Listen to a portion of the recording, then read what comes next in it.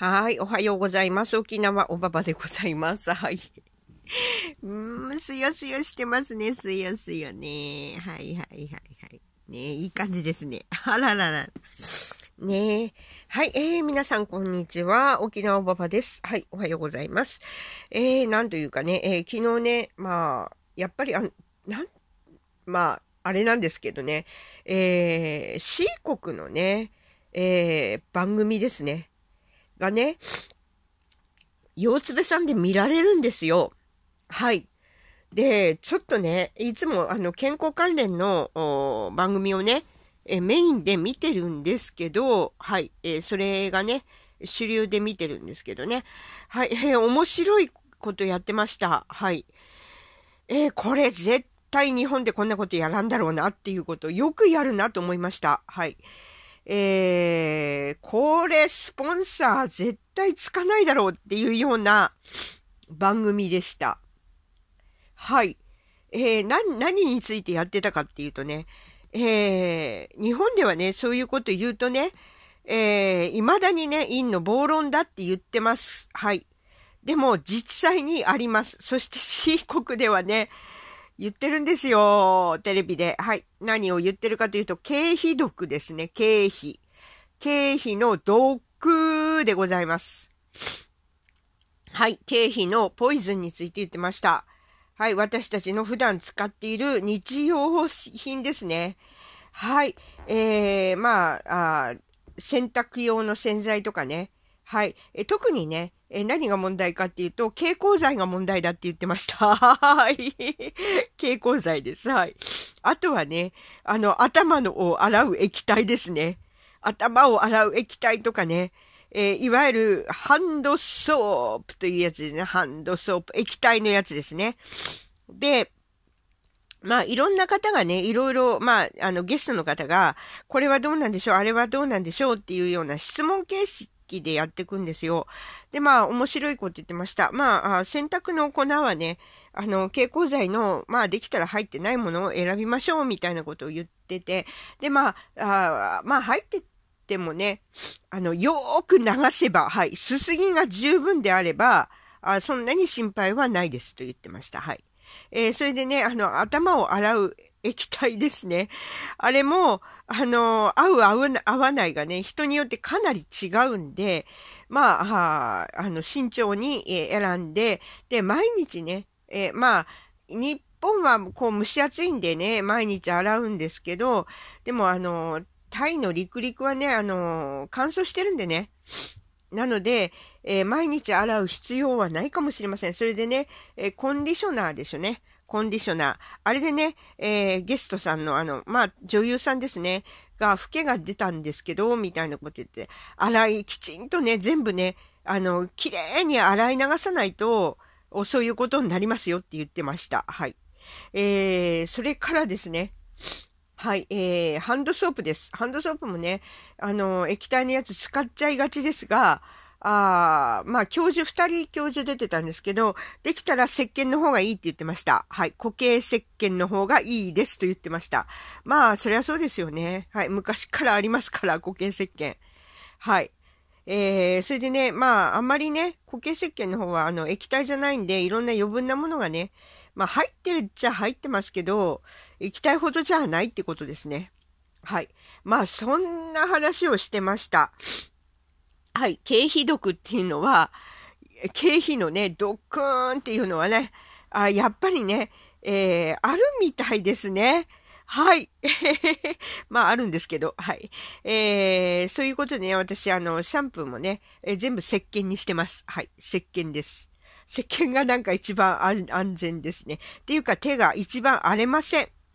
えー、使った感じがね。食器洗うのにも、あの、実はね、石鹸で十分なんですけどね。はい。まあ、そういうことです。はい。えー、まあ、綺麗に落としてくださいよということですね。市販品を使っている方はという話をしていました。これ絶対日本では放送できません。はい。スポンサーがつかなくなります。まあ、C 国よくやるなと思いました。はい。はい。まあ、こういう点ではね、えー、見習わなくちゃいけないんじゃないかなって思います。はい。えー、なんか違うんですよね、こういうところが。はい。まあ、そういうことですね。はい。えー、で、えー、なんというのか、まあ朝からこういう話をしてしまいましたが、あまあ、身の回りのね、えー、ものでね、そういったこう、危険性があるものって結構あるんですけど、えー、やっぱりね、えー、綺麗に、綺麗にすすがないといけないということですよね。はい。まあ、すすげないものはね、えー、なるべく使わないようにしましょうということです。つまりは、はい。えー、例のね、あのー、あれ綺麗になりませんから、あのー、例の、なんていうのかな、あソファーとかね、えー、まあ、パブリック類にね、シュッシュってやるだけでね、え綺麗になりますよって言ってますけど、綺麗にはなりません。はい。綺麗にするのは、やはり、あの、丸洗いが一番です。はい。まあ、そういうことですね。えー、こういったね、えー、まあ、一見常識的なことをね、まあ、日本ではやらないのでね、えー、まあ、しょうがないですね。これ、スポンサーつかなくなりますからね。よく中国でやってますね、と思います。本当に。はい。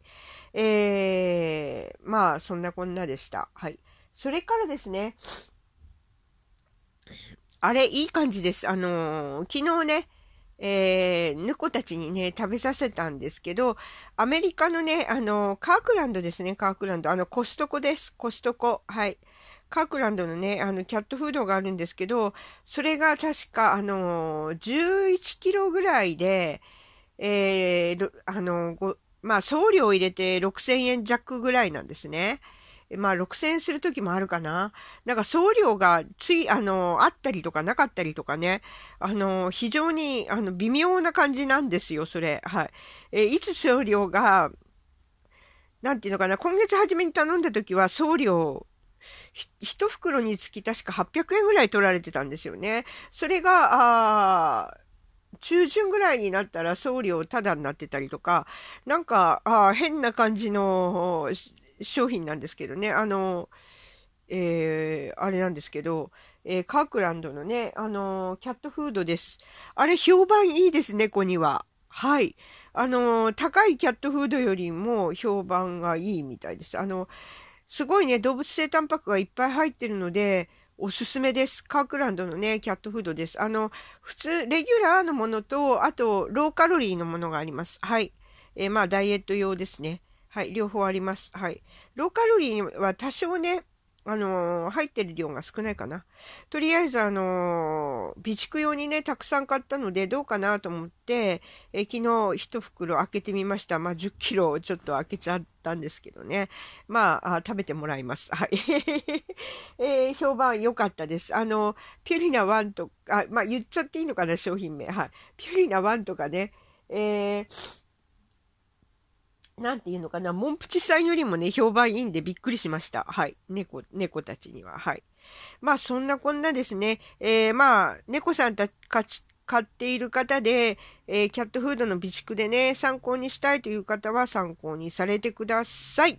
はい、えー、ちょっとびっくり、意外だったなと思いました。あ値段とね、えー、あれは釣り合わないということなんでしょうか。はい。えー、まあそんなこんなです。はい。今日の朝の雑談でした。はい。それでは皆さんまたごきげんよう。沖縄ばばでした。